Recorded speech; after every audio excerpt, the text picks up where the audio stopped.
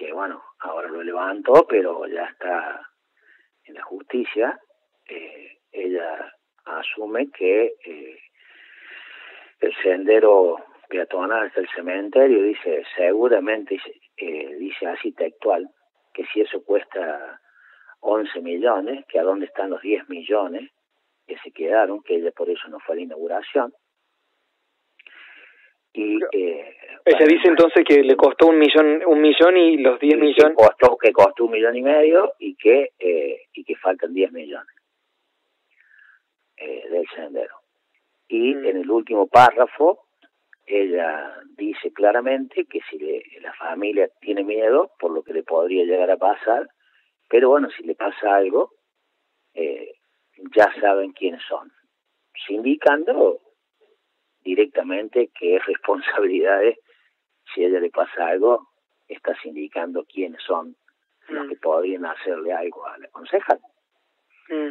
Entonces, bueno, eh, mi estilo es que si hay alguna duda sobre el tema de lo que del dinero de los fondos públicos, eh, yo me ajusto derecho, como lo he hecho siempre usted tiene, creo usted tiene pruebas para presentar, digamos, que las obras todo costó 11 millones y medio. Por eso... Por, por supuesto, porque la rendición está hecha, porque eh, como yo lo manifesté en mi publicación de Facebook, el cartel de obras estuvo puesto en la vía pública, salvo que la concejala no, no lea o no quiera leer, es más, el primero en cuestionar el cártel cuando apareció fue su papá diciéndole que por qué no hacíamos otra, hacíamos casas con ese dinero. En vez de hacer el sendero peatonal y con cuneta y en el cártel está bien claro donde dice que eh, eh, los 10 millones no son 11 millones son 10 millones no me acuerdo bien la cifra pero son 10 millones y algo en donde dice que es cordón cuneta y senda peatonal hasta el cementerio, donde están rendidos a Nación, determinado en tiempo y forma, son seis meses de toda la obra, y donde está rendido el dinero, aprobado por el Tribunal de Cuentas como corresponde. ¿Usted qué acciones legales ha hecho contra, mm, teniendo en cuenta que la publicación no está y que la justicia, eh, digamos, muy preparada para, para sentenciar en lo que sucede en las redes sociales no está preparada? Eh, sí está preparado, aunque usted no lo crea. Eh, conozco situaciones hay peritos, hay peritos para eso.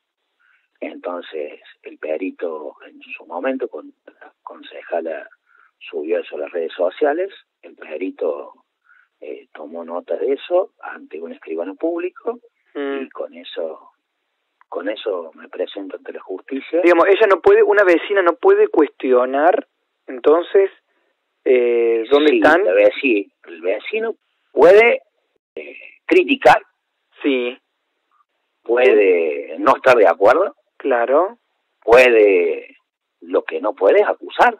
Entonces, una cosa es que yo no esté de acuerdo con tu forma de hacer periodismo, que lo puedo poner en Facebook, decir, no me agrada la situación de cómo hace eh, periodismo, eh, está todo bárbaro.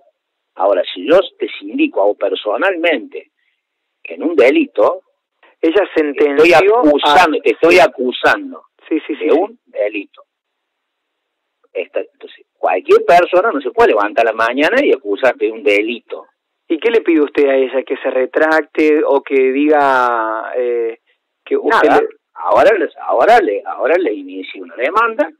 Eh, una demanda civil. X, sí, una demanda civil, por un monto X, por calumnias, injurias y todo lo demás.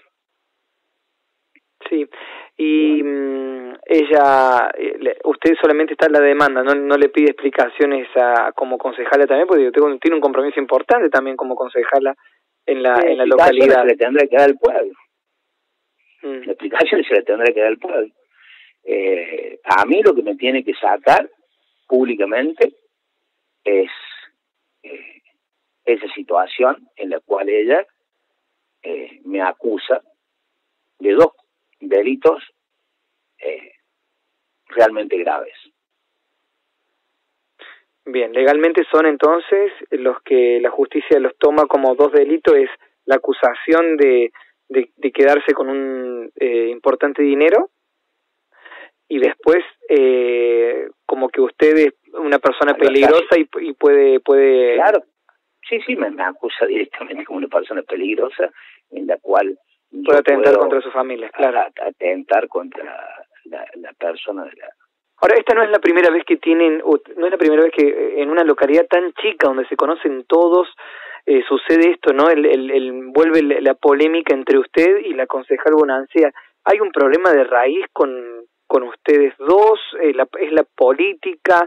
Digamos, porque esto ya trasciende, digamos, la política no, yo creo, personales, acusaciones. No, yo creo que no, la primera polémica fue, eh, si vos recordás, fue otra acusación en el tema que la concejala queríamos hacer una movilización para no dar la autorización a alguien que viniera a ejercer el comercio.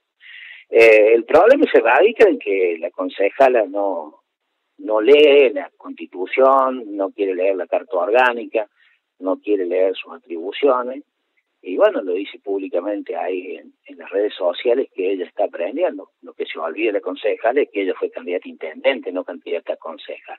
Mm.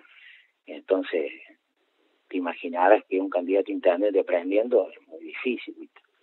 Eh, pero bueno, eh, cada uno sabrá lo que, hace. Yo me apego a la ley, me apego a la constitución, me apego a la Corte Orgánica mm. Municipal, que es para lo que, Bien. Acá esa, yo juré ante la ante la Biblia eh, defender la Bien. Acá en esa sucedió algo similar y le han el Consejo Deliberante le ha pedido al, al partido en algún momento eh, que se retracte o que se desvincule de los comentarios de su concejal. ¿Usted va a hacer lo mismo? ¿El presidente del consejo le va, le va a pedir lo mismo al partido político? No, no, porque el partido no tiene nada que ver. Bueno, justamente para que el partido, el, partido, el partido radical eh, tiene gente muy honorable y gente muy capaz.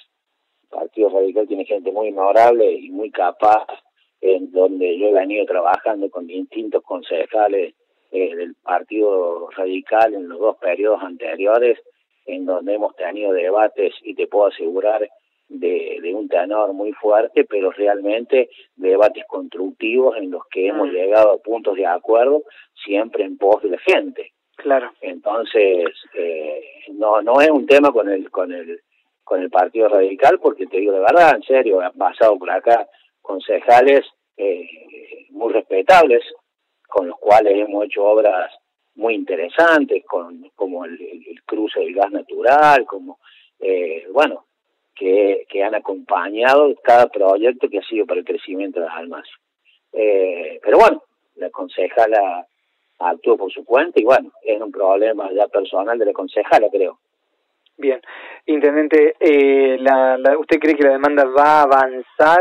Eh, ¿Usted ya tiene abogados trabajando? ¿Cree porque digamos yo conozco en el momento en el momento que presenté la demanda puse por supuesto abogado.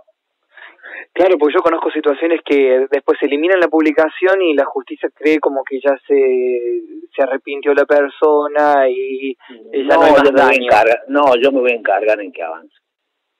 Yo me voy a encargar en que avance porque la verdad es esa.